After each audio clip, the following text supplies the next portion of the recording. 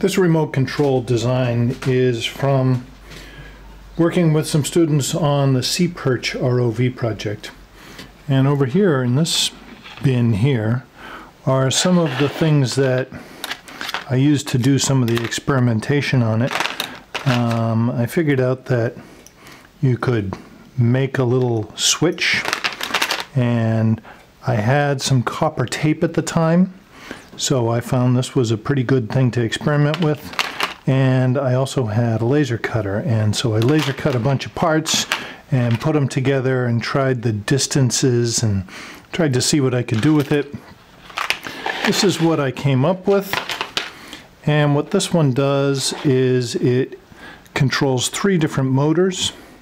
So this would be the left side of the vehicle, the right side of the vehicle. This would be up and down. And to test it, what I did was I set it up with two LEDs on each one so that each LED was backwards of each other. So this one would be pushing up, this one would be pushing down, this is pushing forward on the left, forward, uh, reverse on the left, and forward on the right, and backward on the right. And so this one worked out pretty good. Um, the design for it worked out nice. It was based around these uh, screws that I had a lot of from having some MakerBots.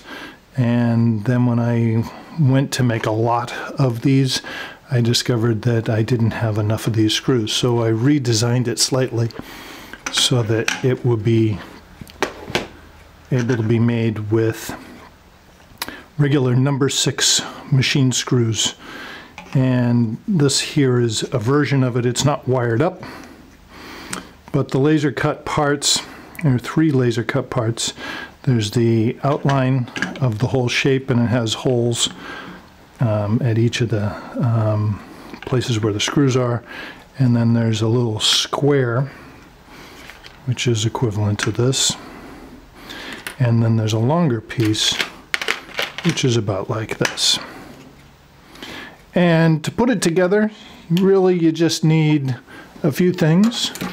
You need a pair of scissors, screwdriver, pen, a pen to poke out the, the um, points, and instead of copper tape, this is aluminum tape that you get in the HVAC section of a hardware store. And so this is um, conductive tape that has adhesive on the back and this part here is aluminum tape. It works out pretty nice. These I discovered to make them fit on these, these are an inch wide. Um, to make them fit on these, I cut this tape into quarters, quarter thicknesses, and the length of this. It worked out pretty nice it's definitely a more attractive remote control clicker than this one here, uh, which was done with a bandsaw and kind of a little quick and a little bit um, not the uh, greatest of craftsmanship. Underneath, we use screw screw terminal switches, and um, another one. This is more close to the design that's in how to build your own underwater robot. Um, and this one here has crossover jumpers on each of the switches. Power goes to the center and the motor comes off the end. And um, I think this design works pretty nicely. Uh, as a demonstration model, it's worked out pretty good. It also worked pretty good on the underwater vehicles underneath. You can see we basically cut out the center part here. This is a little 3 volt um, battery pack that's just kind of soldered into, um, velcroed into place.